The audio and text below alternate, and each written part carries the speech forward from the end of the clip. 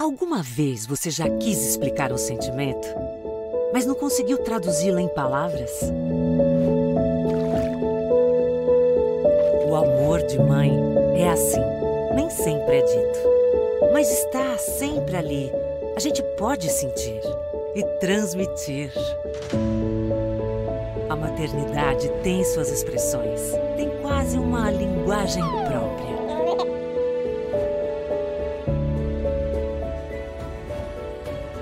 Mãe em várias formas.